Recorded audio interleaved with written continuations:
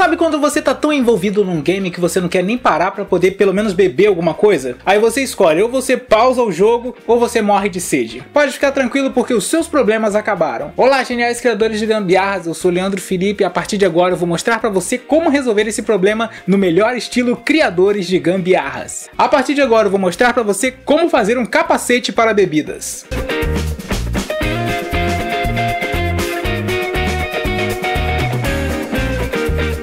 Assim você não vai precisar interromper o seu jogo favorito para matar a sua sede. Essa foi uma sugestão que veio lá do grupo do Facebook, o grupo Espaço dos Inscritos. E eu acho que a pessoa mandou meio que na zoeira, mas eu falei, eu vou fazer isso. Então se prepare porque é logo depois da vinheta, vai!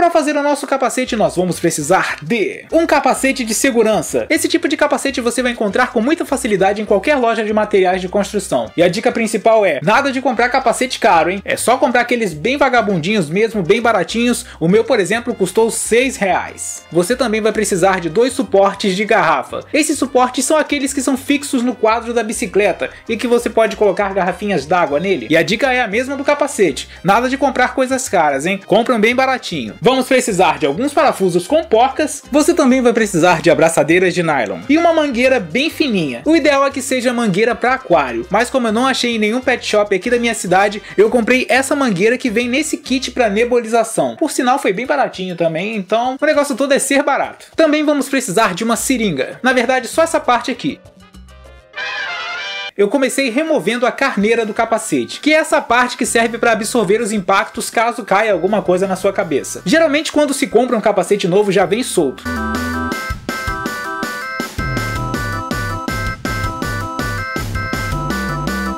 Carneira é o nome da parada, e eu achava que Carneira era a mulher do carneiro. Ai caramba! E depois de retirada a carneira, eu posicionei os suportes de garrafa nas laterais do capacete, marquei e furei.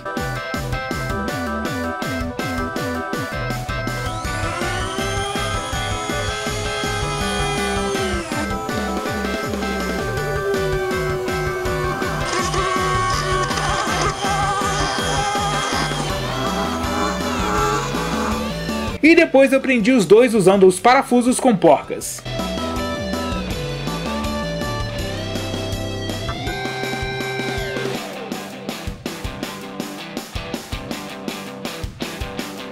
E depois eu coloquei a carneira de volta no seu lugar.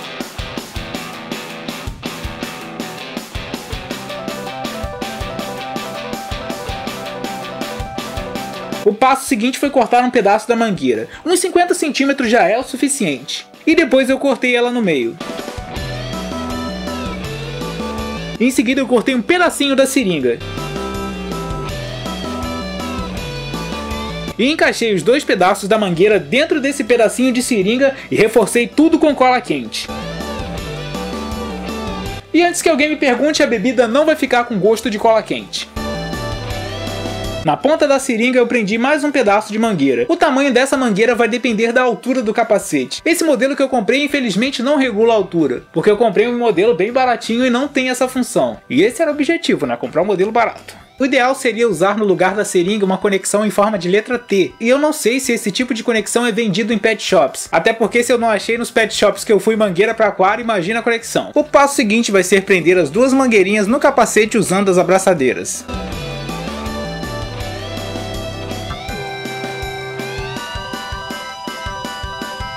Agora basta colocar a latinha da sua bebida e está pronto o nosso capacete para bebidas.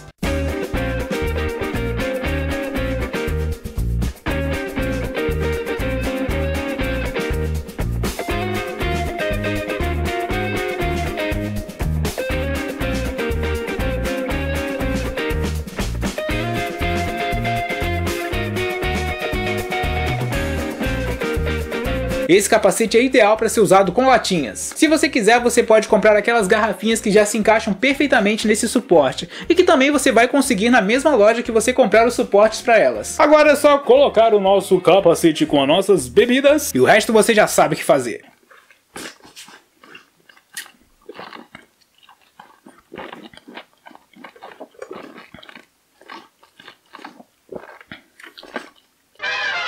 Eu espero que você tenha gostado desse vídeo. Se você gostou mesmo, clique em gostei, adicione esse vídeo aos seus favoritos e não esqueça de compartilhar com todos os seus amigos. Se você ainda não é inscrito, se inscreva no meu canal para não perder os próximos vídeos.